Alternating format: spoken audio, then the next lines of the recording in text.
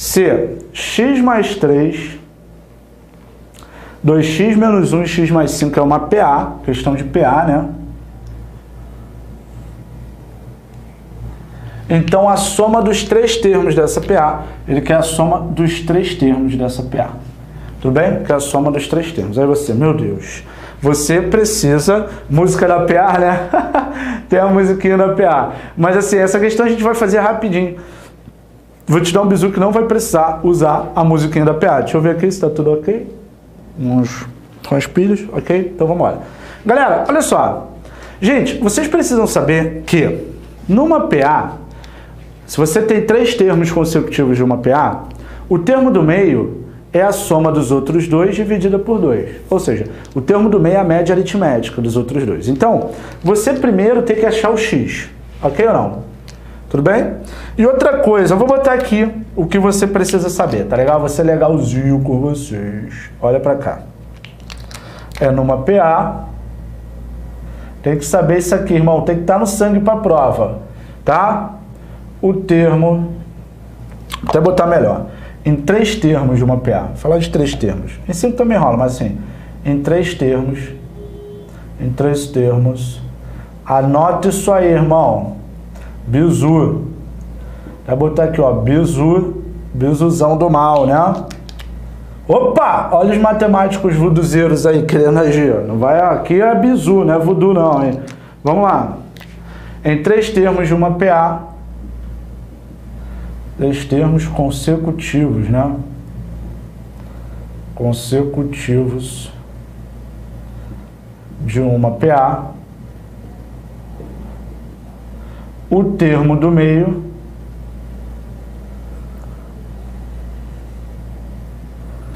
é igual à soma dos outros dois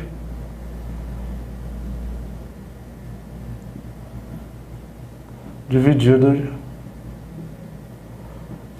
por 2. Tudo bem? A média aritmética, né? Mas enfim.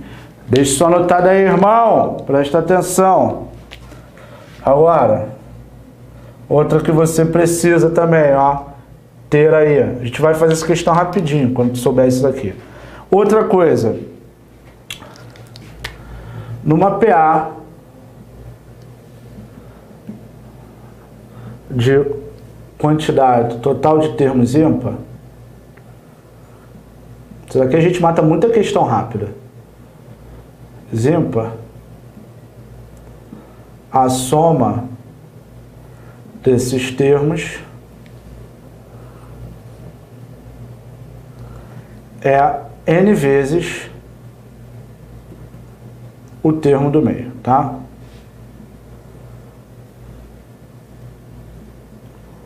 Tá? Então vamos lá. Duas coisas que nós precisamos saber para fazer essa questão rápida, sem estresse. Ó.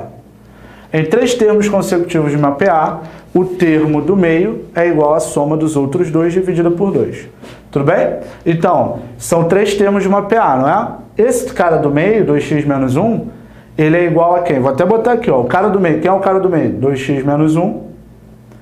Ele vai ser igual a x mais 3, mais x mais 5, divididos por 2. Tudo bem não? Eu vou trazer para cá para a gente fazer. Ok? O termo do meio, isso é em qualquer PA, três termos. 2x menos 1 é igual a x mais 3 mais x mais 5 sobre 2, ok? E numa PA de total de termos ímpar, a soma desses termos é n vezes o termo do meio. Então, ó, quantos termos eu tenho aqui, galera? 3 é ímpar, não é? Se eu quero a soma desses três, vai ser n vezes, n é a quantidade, o total de termos. Ou seja, a soma vai ser 3 vezes o termo do meio, que é 2x menos 1. Tudo bem? E aí tu não precisa usar fórmula, não precisa fazer nada, só achar o valor de x. Ok ou não? A fórmula vai ser 3 vezes o termo do meio, que é 2x menos 1. Estamos combinados? Se fossem 5 termos, a soma seria o quê? 5 vezes o termo do meio. Tudo bem? 7 termos, 7 vezes o termo do meio. Agora vamos lá, vamos achar o valor de x para depois chegar aqui. Vamos lá. Fazendo aqui, ó, vou trazer para cá. 2 está dividindo, vai para lá multiplicando. Então vai ficar, ó, 4x menos 2, né? Trazendo de lá. Igual 1x mais 1x dá o quê? 2x mais 3 mais 5, 8. o que tem x de um lado o que não tem do outro. Então vai ficar 4x menos 2x igual a 8 mais 2. 2x igual a 10. x é 10 divididos por 2, que dá 5. Esse é o valor de x. Tudo bem? Esse é o valor de x. Agora a soma, ficou fácil. Ó. A soma vai ser 3 vezes o termo do meio, que é 2x menos 1, ou seja, 2 vezes 5 menos 1. 2 vezes 5 dá quanto? 10. Menos 1 dá 9. 3 vezes 9 dá 27. Fiz a questão aí rapidinho, sem me estressar. Qual é a letra? D, marco V da vitória.